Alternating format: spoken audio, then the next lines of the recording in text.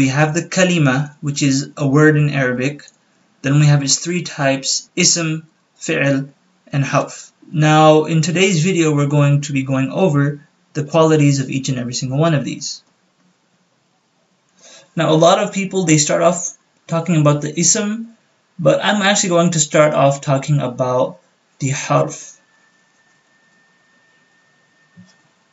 And I'll, I'll, I'll tell you why um, in a minute. Okay, so our harf is again the particle. The only thing that you need to know about the particle is that it does not convey meaning on its own,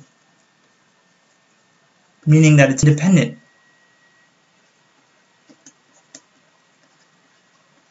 So, for example, in English, if someone was to ask you, how are you going to climb the mountain?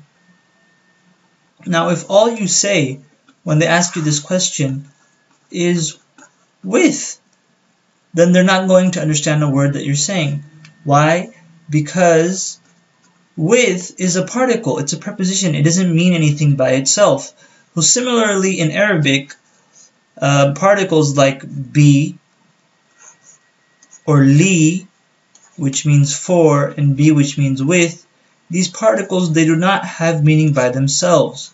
Okay, they do not convey any type of idea just by themselves. And it'll come in handy later when we get to it. But just remember that for now. Next we have the fi'l. And the fi'l is our verb. Okay?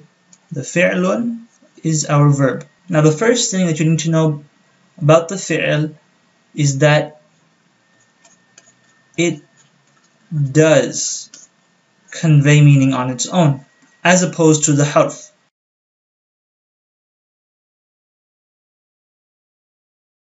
And secondly, what you need to know is that it has a tense, meaning past, present, and future.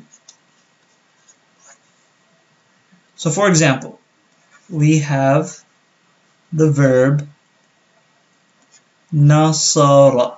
Now nasara in Arabic it means he helped. I'll even transliterate it for you. Nasara. Yeah? He helped. Now because of this ed in English we know that it's a past tense verb.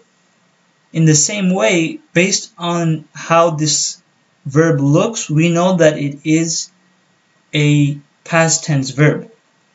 Now we're going to get into the details of how to tell that it's past tense later, but for now just know that verbs hold a tense. Also, they convey meaning on their own. So for example, if someone were to ask you, who helped? It'd be enough for you to point and say nasara, he helped. And that's how the, the fi'l, it conveys meaning by itself as opposed to the harf. Next we have what we call the ism. And the ism in English is known as the noun. The first thing you need to know about the ism is that it has no tense. It does not have a tense. And this is obvious if you've studied a noun before. And secondly, as opposed to the harf as well, it conveys meaning on its own. And so, for example, we have the word rajulun.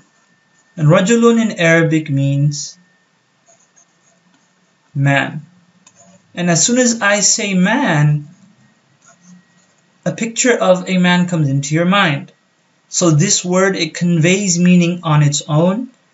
And at the same time, saying man does not tell me whether it's a past, a man in the past, or a man in the present, or a man in the future. Okay, and so that, that means that this is a noun because not only does it convey meaning by itself, but it holds no tense. And that's it for today.